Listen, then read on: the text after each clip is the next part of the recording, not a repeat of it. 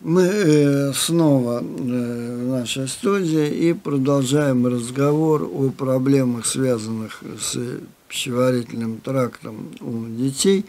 И э, первая проблема, о которой мы сегодня поговорим, проблема, ну, скажем, встречающаяся очень часто, и опять же очень много различных каких-то мнений, каких-то дискуссий, каких-то вот советов даются э, всеми, включая средства массовой информации, э, этими советами пестрит интернет на различных форумах. Поэтому давайте мы немножечко разберем более подробно и поставим точки над «и» в вопросах, Э, связанных с таким состоянием ребенка, которое называется пищевая аллергия. И вот здесь э, я убедительно э, прошу родителей меня услышать, потому что то, что я буду сейчас говорить, это, ну, скажем, вещи достаточно простые. С одной стороны, с другой стороны, э, в этой области очень много различных каких-то течений, каких-то дурацких советов э, выявляется в э, средствах массовой информации и в интернете. И, скажем так, действия вот, согласно этим советам, они могут привести к очень э, тяжелым печальным последствиям. Поэтому мы с вами сегодня постараемся как бы вскрыть этот вопрос, объяснить, э, что это такое. Э, на некоторые вопросы я, наверное, и не смогу ответить, потому что в медицинской науке эти факты еще и неизвестны. Итак, что же такое пищевая аллергия? Э, почему она встречается так часто? На какие продукты она может быть? И так далее. Вот на эти вопросы, что с этим э, больным ребенком делать, э, мы постараемся ответить максимально вот, доступно, максимально понятно для вас – Значит, итак, пищевая аллергия, прежде всего надо понять, что пищевая аллергия – это не заболевание. Нет такого, что ребенок болеет пищевой аллергией, его надо лечить чем-то вот эту болезнь.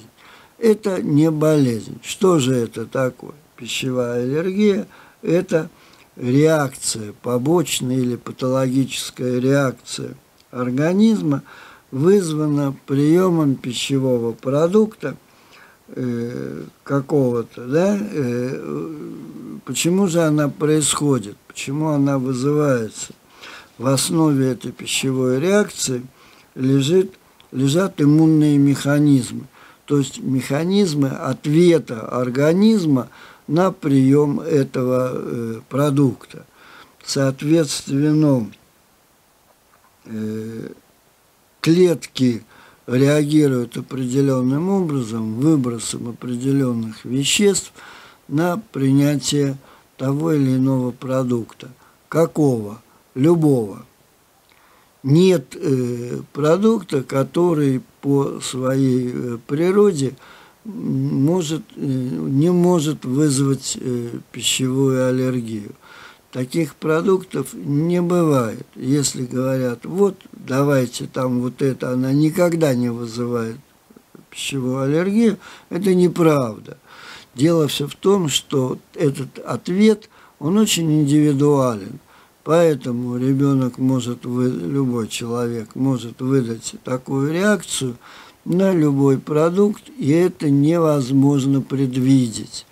Э, механизмы возникновения иммунной реакции человека, то есть что это такое? Это реакция клетки на что-то. В данном случае мы говорим о реакции клетки на э, прием того или иного пищевого продукта. Каким образом эта реакция происходит? э, клетка в ответ выбрасывает целый комплекс веществ определенных, э, связанных с иммунитетом. То есть мы с вами наблюдаем в этом случае, можно сказать, что пищевая аллергия – это защитная реакция организма на прием того продукта, который организму не подходит соответственно. Да, если это не подходит, значит, это не надо давать. Еще раз давайте сформулируем, что же такое пищевая аллергия, чтобы было понятно. Пищевая аллергия – это э, патологическая или побочная реакция организма на прием э, того или иного пищевого продукта. То есть этот продукт для организма не полезен, не нужен, организм на него реагирует плохо и всеми силами старается от него защититься, выбрасывая определенные защитные тела. Эти защитные тела, они вызывают такую реакцию организма. То есть организм говорит маме, не надо давать э, ребенку вот эту вот, э, этот продукт, он для него вреден. Поэтому мы можем воспринимать пищевую аллергию с одной стороны как реакцию защитную, с другой стороны как реакцию для организма неполезную. Бывает довольно часто, что защитная реакция для организма не является полезной для организма. Но тем не менее это нужно воспринимать именно так. Дело все в том, э, что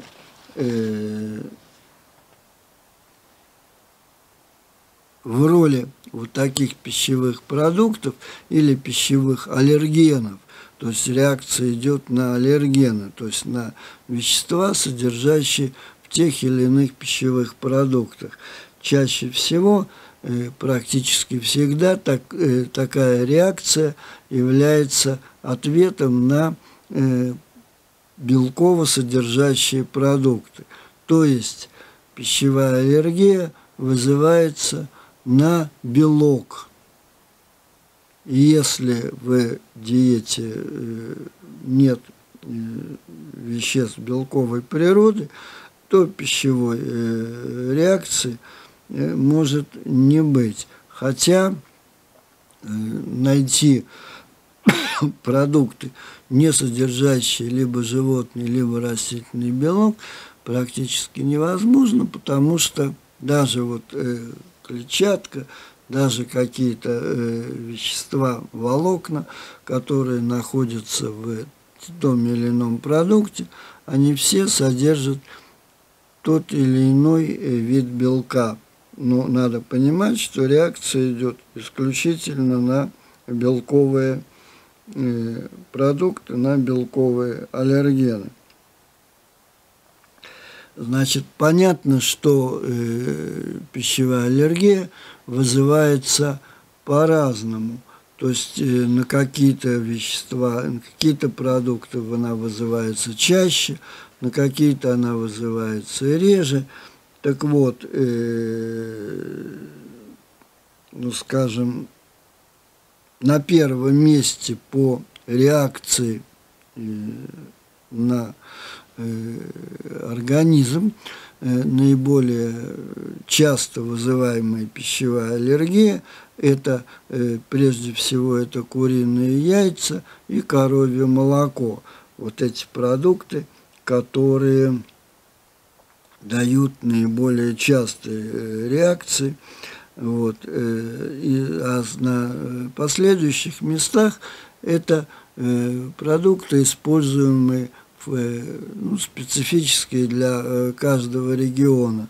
Для кого-то это фрукты, для кого-то это овощи, для кого-то это э, продукты, содержащиеся вот, мясные, для в каком-то регионе рыбные преимущественно. Так вот, по значимости в плане пищевой аллергии эти продукты являются на третьем месте – Значит, э, в процессе кулинарной обработки пищевые аллергены могут менять свое, свои свойства.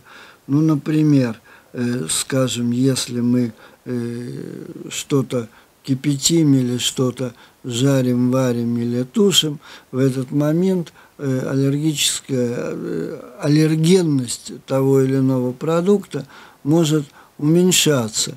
И вот здесь очень интересно, если мы говорим о мясе, о мясе курицы, вот такой момент, который вам будет интересен – Э, ну, да, насколько это э, сложно. Вот, например, если мы э, готовим, скажем так, курицу, то нужно знать определенную вещь. Например, если мы кладем курицу в холодную воду, и дальше начинается процесс приготовления, то при таком раскладе при таком кулинарной обработке мы можем ну, практически без э, болезненно для э, ребенка, склонного к аллергии, дать куриное мясо, но ни в коем случае не давать куриный бульон, потому что все аллергены будут концентрироваться в бульоне. А вот если мы кладем курицу в горячую воду, уже в кипящую, то тогда мы можем совершенно безболезненно давать куриный бульон, а куриное мясо э, ребенку э, склонному к аллергии мы давать не будем, иначе он вызовет, он даст э, аллергическую реакцию. То есть процессе кулинарной обработки при одномоментном приготовлении да, курицы, бульон и мясо мы давать не должны. Вот э, как пример, да, когда при кулинарной обработке меняются свойства аллергенов.